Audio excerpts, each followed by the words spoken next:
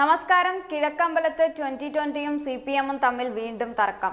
വഴിവിളക്കുകൾ സ്ഥാപിക്കുന്നതിനായി twenty twenty നടത്തുന്ന street light challenge അഴിമതി എന്നാണ് സി പി എമ്മിന്റെ ആരോപണം.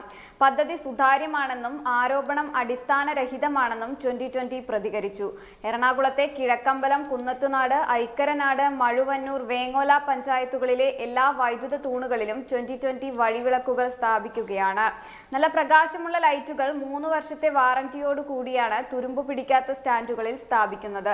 ഓരോന്നിനും ചെലവ് രണ്ടായിരത്തി അഞ്ഞൂറ് രൂപയോളമാണ് വരുന്നത്. ഈ തുക സംഭാവനയായി വാങ്ങിയാണ് സ്ട്രീറ്റ് ലൈറ്റ് ചലഞ്ച് നടത്തുന്നത്. ട്വന്റി ട്വന്റി കിഴക്കമ്പലം അസോസിയേഷന്റെ ബാങ്ക് അക്കൗണ്ടിലേക്കാണ് പണം നിക്ഷേപിക്കേണ്ടത്. സാമൂഹ്യ മാധ്യമങ്ങളിലൂടെ ഇതിനായി പ്രചാരണം നടക്കുന്നു. തദ്ദേശ ഭരണ വകുപ്പിനെയോ കെ എസ് ഇ ബിയോ അറിയിക്കാതെയാണ് ഓഡിറ്റ് ഇല്ലാത്ത അക്കൗണ്ടിലേക്ക് സംഭാവന വാങ്ങി പദ്ധതി നടപ്പാക്കുന്നത് അഴിമതിയാണെന്നാണ് സി പി എം ആരോപണം. അഴിമതി അന്വേഷിക്കണമെന്നാവശ്യപ്പെട്ട് പോലീസിനും കെ എസ് പരാതി നൽകിയിട്ടുണ്ട്. എന്നാൽ ആരോപണം അടിസ്ഥാനരഹിതമാണെന്ന നിലപാടിലാണ് ട്വന്റി ട്വന്റി. ഇതിനു മുമ്പും വിവിധ ചലഞ്ചുകൾ വിജയകരമായി നടത്തിയിട്ടുണ്ട്. ഓഡിറ്റ് നടക്കുന്ന അക്കൗണ്ടിലൂടെ മാത്രമാണ് പണം വാങ്ങുന്നത്. മാത്രമല്ല ഓരോ ദിവസത്തെയും സംഭാവനകൾ വെബ്സൈറ്റിൽ പ്രസിദ്ധീകരിക്കുമെന്നും ട്വന്റി ട്വന്റി അറിയിച്ചു. അതേസമയം മഴുവന്നൂർ ഗ്രാമപഞ്ചായത്ത് ഭരണസമിതി അനാസ്ഥ മൂലം നഷ്ടമായത് ധനക്കമ്മീഷൻ ഗ്രാന്റായ ഒരു കോടി രൂപയാണ്.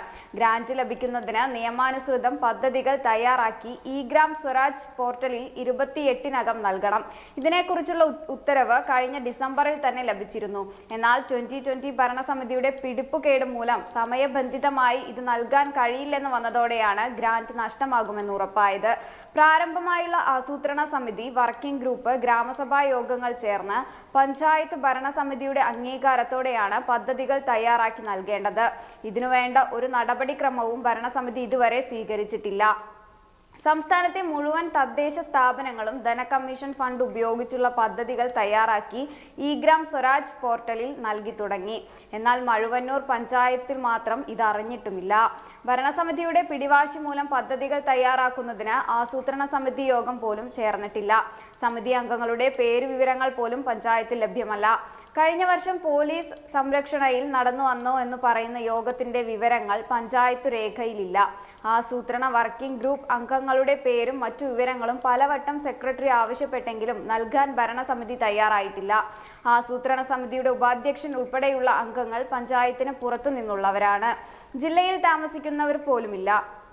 കഴിഞ്ഞ ഒരു വർഷത്തിനിടയിൽ ഇവരാരും പഞ്ചായത്ത് ഓഫീസിലേക്ക് തിരിഞ്ഞു നോക്കിയിട്ടുമില്ല. വാർഡിന്റെ എണ്ണം പോലും അറിയാത്തവരാണ് പല ആസൂത്രണ സമിതി അംഗങ്ങളുമെന്ന് പ്രതിപക്ഷ അംഗങ്ങൾ പറഞ്ഞു.